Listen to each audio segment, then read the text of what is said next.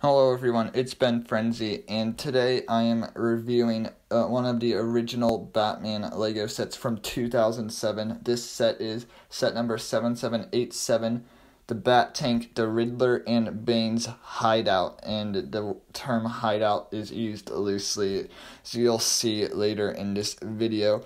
It retailed for only $50 only $50 and it's 645 pieces so r- pretty good value back then so anyways let's get started.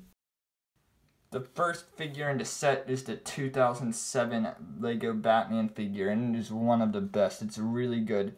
You can only get this batman figure in two sets which is this one and the scarecrow set from the same year. It, it he has his blue cape and there is no back printing which is completely fine since this is this is an older figure and he you wouldn't see it anyways and that's what his face looks like under his cowl kind of similar to what we see today for Lego Batman figures. The next minifigure in the set is the Riddler. He is also not exclusive. You could get him in the original Arkham Asylum set, but not with this jetpack. I have no idea why they gave Riddler a jetpack in this set, but it's a nice new look to him compared to the original 2006 one. Other than that, same exact figure. No double-sided face, but there's some eyebrows that are hidden under his hairpiece. And one thing worth noting is that this jetpack will often just lean to the side and it's kind of a disappointment, but it's you can just take it off if you want to do that.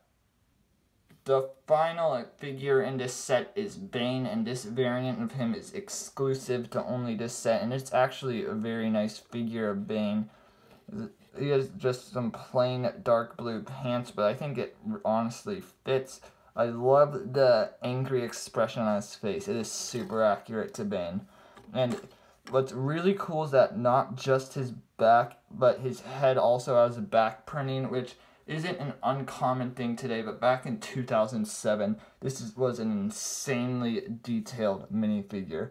So this Bane figure, Bane is not even close to my favorite villain. Killer Croc is my favorite villain. He is just a better version of Bane in every way possible.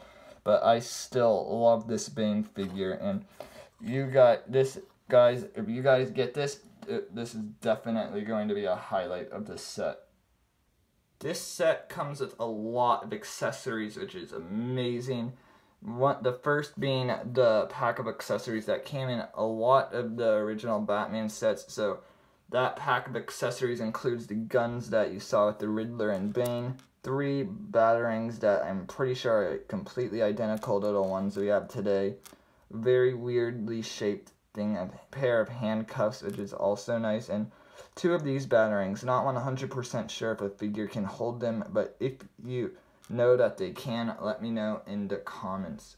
The next group of accessories are stuff that only came in this set, though the pieces are not exclusive. There are two printed $100 bills, a thing of dynamite, which is a pretty nice build, the remote thing to trigger the dynamite and this thing which I is probably Bane's Venom source It's a sticker that says danger on it. So pretty nice to have all of this in the set as well. Bane actually gets a vehicle in this set and it is simple yet effective. I love this vehicle so much and it honestly is one of my favorite parts of the set. It's just a really solid build. There's Bane here attached to a regular motorcycle in dark green. It's pretty nice. It's a cannon right here with a sticker element and this thing which might be a clip for as a gun. I don't know what it's supposed to be. Also on the, I'll just rotate it over. There are flick missiles. Now back into time they did not have the flick missile sticks. Had these pieces which made them very easy to shoot. Now the big downside is that they are they slip around and if you drive this really quickly they might even come out. They'll definitely come loose, but again, super easy to shoot and it's a really nice look. I mean, this just looks intimidating, and I absolutely love that. This is very, very cool. So now for the two giant parts of the set, I am using my new tripod for the first time. So if I do, I'm trying to experiment with finding the best way to use the tripod. So if I do weird stuff with the camera for this video, I apologize for that. Also, uh, this tripod came with a light to get the lighting better, which I can also play around with. I can adjust the light and even change its color. So, you guys have any suggestions about the light, be sure to tell me, and I'll just have to stop playing around with this now. Okay, now with the light back to normal, let's get on with the review of the hideout section, and I use the term hideout very loosely, as well as a lot of people who have owned this set on the internet. It is uh, really just a gate. That's really what it is. There is no interior. It doesn't come with a hideout or anything. Does use some big pieces, which is pretty nice. Anyways, I'm going to quickly zoom in on the three stickers of this build. So do that now. Here, there's a wanted sticker for Bane. I don't know why Bane would have that on his hideout other than to just scare people with the look on his face in that picture. This one says bats crossed out, which is pretty funny.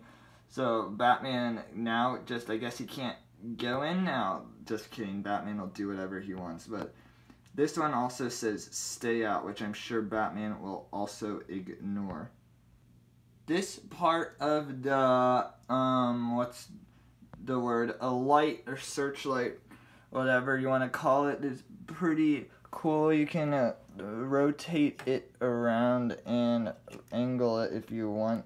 Goes 360 degrees. And as for the thing you get on the right it's just a gun with I think can be uh, rot uh, positioned yep and it can rotate. And if you haven't seen this gun before, you can actually spin it around by flicking it. Sorry that it's just going out of control.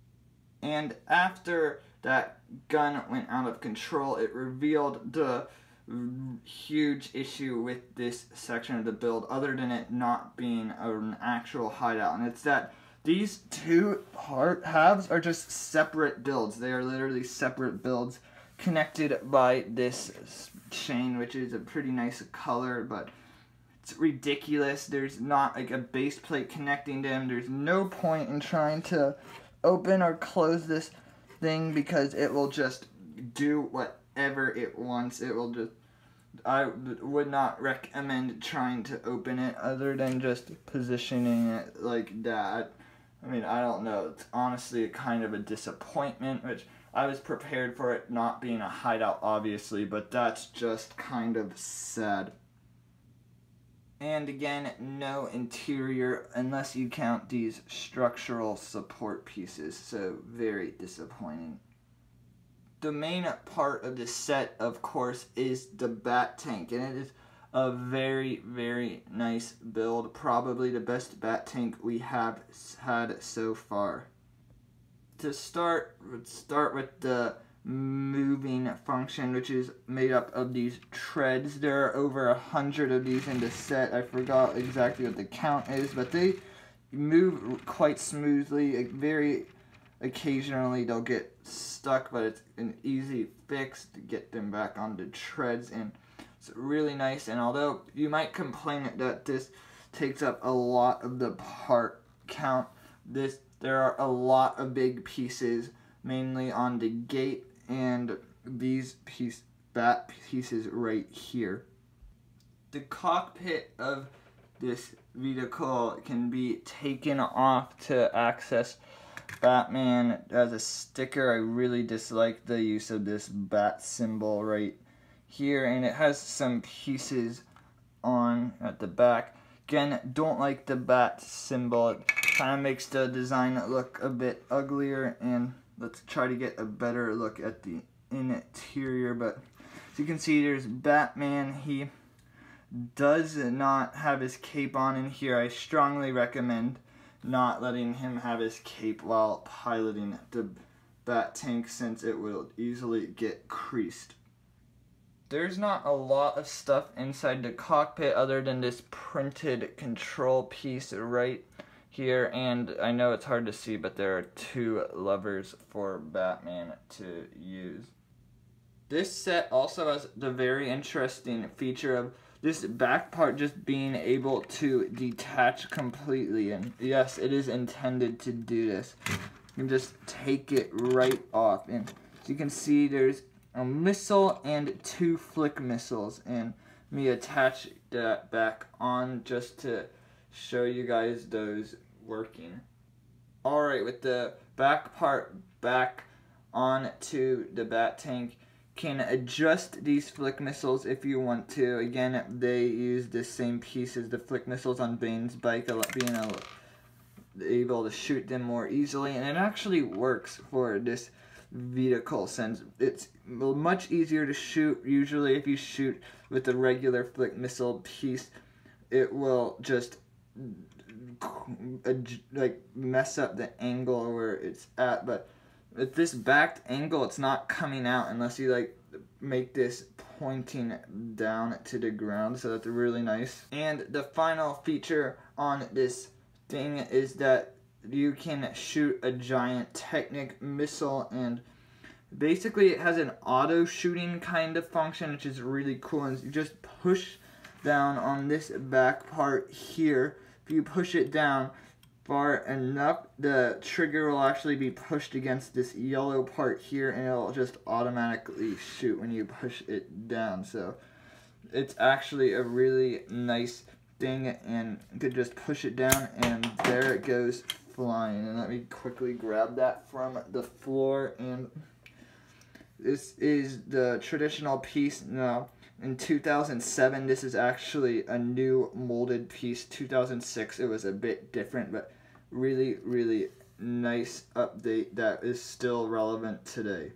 I'm going to end up and give this set a 9.5 out of 10 or an A because one of the main things you are paying for is the hideout and that definitely did not deliver. It's not even a good gate considering that it's very, very flimsy.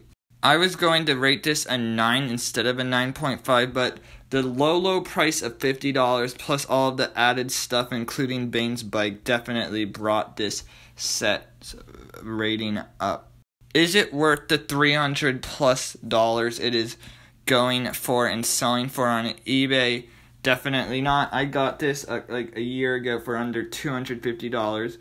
I wouldn't pay over $200 to get the set if you're not trying to ultimately get all the original Lego Batman sets like I am, and believe me, that is no easy feat, and I have, don't know if I'm ever going to be able to do that. The Riddler is not that great of a figure, especially with the newer ones, and that he's not exclusive, and he falls over with that jetpack, which you can't take off, I guess. But the Batman and Bane figures are really nice, even for today's standards. A Bane bike and a Bat tank are really good. The hideout, not so much.